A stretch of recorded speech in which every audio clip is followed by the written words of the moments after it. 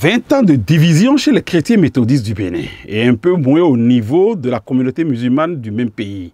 Il fallait un président visionnaire, courageux et amoureux de la paix et de la concorde pour s'évertuer dans cette forêt de discussion et de tension. Mais quand on s'appelle Patrice Talon, qui croit au ferment de laïcité de l'État, ce n'est pas une mission impossible. Et c'est ce que le président de la République du Bénin a réussi moins de deux ans après son élection à la magistrature suprême. Aujourd'hui, l'Église protestante méthodiste du Bénin a retrouvé sa cohésion comme l'Union islamique du Bénin. Et c'est pour les renvoyer à la promotion de cette paix retrouvée que le président Talon a gratifié ces hommes de Dieu dans différents grades de mérite. La cérémonie qui a eu lieu dans l'après-midi du jeudi 21 septembre à la salle de conférence du ministère du Travail a réuni tout le monde, amis, parents et récipiendaires. Il s'agit de personnalités généralement discrètes, acteurs de l'ombre, mais parfois d'une efficacité redoutable, qui ont su mener à bien les différentes missions qui leur sont assignées. Lorsque le chef de l'État, grand maître de l'ordre, a décidé de décorer un citoyen, il revient à la grande chancellerie de l'ordre national du Bénin de mettre en application cette décision. La grande chancellerie de l'ordre national du Bénin a donc pour vocation d'exprimer la reconnaissance de l'État à celles et ceux, nationaux ou étrangers, qui par leur mérite et les éminents services qu'ils ont rendus à la nation, ont contribué à l'épanouissement du peuple béninois. Vous avez rendu d'éminents services à la nation, tant au plan national qu'à l'extérieur. Vous avez marqué votre engagement par l'unité et l'édification de nos communautés religieuses.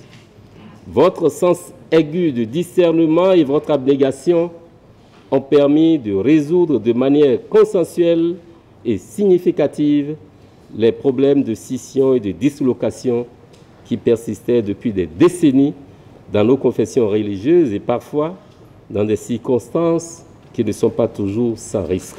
Après cette dissection, c'est El Yakubu Malehossou qui a pris la parole au nom des récipiendaires de la communauté musulmane pour remercier le président Talon. Grâce à la médiation du chef de l'État, le président Patrice Talon, nous sommes devenus même père, même mère. Je remercie le chef de l'État et tous les membres de son gouvernement parce que c'est quelqu'un qui est reconnaissant. C'est quelqu'un qui connaît la valeur de nos religions. Le secrétaire général de l'Union islamique du Bénin, El Abdul Jalili Issoufou, a poursuivi en ces thèmes. Je voudrais dire que les médailles que vous venez de nous offrir, de nous donner, ne sont pas une consécration, c'est plutôt un ordre de mission. Et nous nous engageons ici à continuer à exhorter, à promouvoir la paix.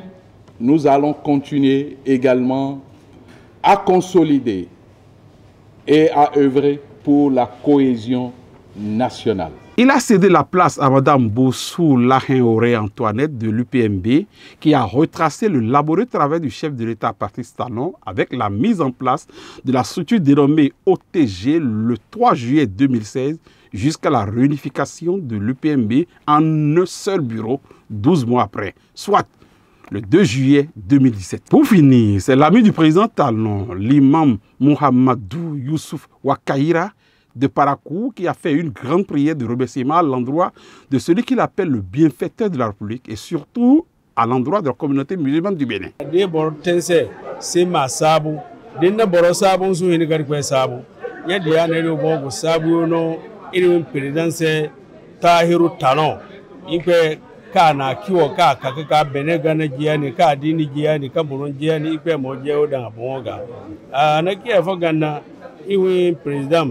ana alheri tutuma terese sakulu okulayo nagana nyo okulayo nagana bonwi sariya mete bakwe na mogire.